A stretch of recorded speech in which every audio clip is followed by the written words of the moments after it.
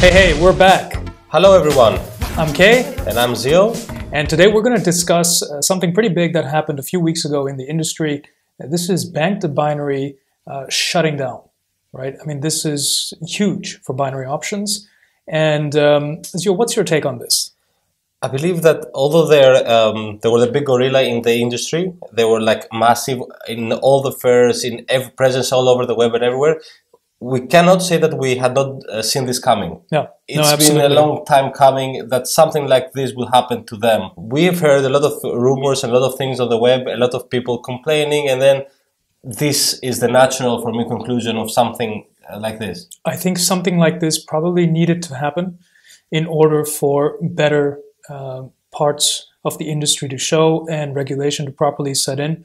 I think uh, this is a company that has been associated with uh, continuous um, scams and scandals over the years. Maybe they got their act together over the last one or two years, but it was very clear that the company official who actually, a Banc De Binary official who actually came out, um, openly said that um, we can't run this business anymore because our brand name is so tarnished. You know, this was something that was in Finance Magnates this was also in uh, some other publications. So this has come from Banc De Binary themselves. They acknowledge how badly their brand reputation was tarnished. Now, maybe some of that is competitors, but generally speaking, uh, when Banc De Binary started off just a few years in, uh, they were removed from the US, right? Correct, yes. And they had a big lawsuit, I think, or something like that happening to them in a, in a fine yeah. or something. So they had to go out from that market. So they've been fined before. Other brokers have as well, but they've actually been deported out of a country. Um, and this is this is big for the industry, and it has always been our opinion that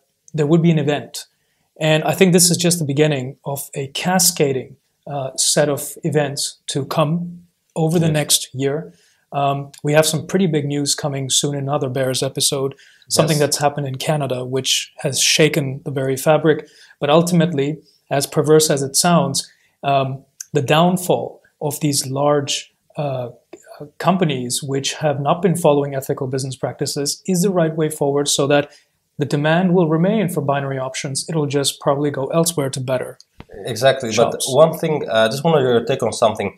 I believe that although Banc De Binary has done some, let's say, bad things in the industry, I'm sure they they're also also to thank for for the rise in binary options, right? I mean, all their advertising, everything has um, has introduced binary options to the world. So although um, they have, I know that they have um, uh, created some bad publicity for themselves, and maybe they have created a lot of issues to a lot of people. They have also introduced binary options to the world, to people, to other people. A lot of people know of the industry now because of them.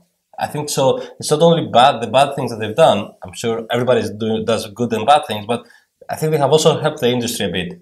I, I, would say that's been, I totally agree. I think what's happened there is that's a more unintended consequence um, of them doing it. I don't think they actually went out openly and wanted to do that. I think this is something that they just, to be perfectly honest, um, it happened to be the case that they end up on the front page of a lot of the search engines for new binary option entrants. And so immediately when they type in binary options, they're greeted with Banc De Binary or a product, you know, a scam yeah. product, which leads people to deposit at Banc De Binary.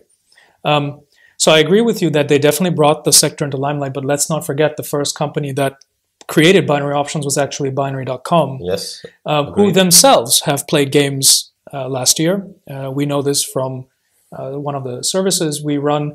And so, and we're going to do an entire episode on that as well. Uh, so it's very important to note that not even the most regulated brokers um, are always 100% legit. Having said that, there are some brokers um, which have only conducted uh, business practices ethically since the beginning of binary options. And that's very good because we believe longer term these brokerages will be the ones. Yes, to uh, stay in this industry, and this industry has a future. I, I don't think all, the, although a lot of regulations absolutely. come into this future, into this uh, industry, I believe that there is a future, and yeah, it will be probably less companies and less brokers, and maybe even less traders. Yeah. But it will clean up the space, and everything will be okay.